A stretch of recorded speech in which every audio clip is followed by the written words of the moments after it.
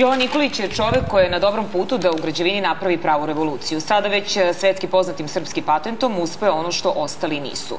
Da napravi ekološki sistem gradnje koji je neuništiv i pritom štedi energiju. Jovan Nikolić ili kako ga zovu Nikola Tesla 21. veka. Ja ne mogu se porediti s njime, naravno, tavan posla. Kada je preživeo uragan na Floridi, shvatio je da je krajnje vrijeme da neko napravi sistem gradnje koji će biti otporan na četiri prirodna zla – zemljotrese, uragane, poplave i požare. Ipak za savršen sistem gradnje koji je Jovan izumeo bile su potrebne godine. Trebalo rešiti energetsku efikasnost, trebalo rešiti neprekidnu, neprekidnu izolaciju. Sve tehnologije imaju taj problem.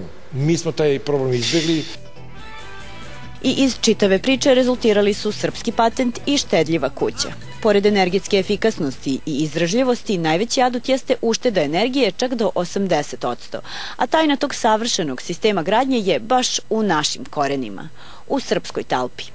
I pomoću te srpske talpe, stare, koja je 100, 200, 300 godina se koristi u, jednom, da kažemo, seoskom, seoskom graditeljstvu, jel?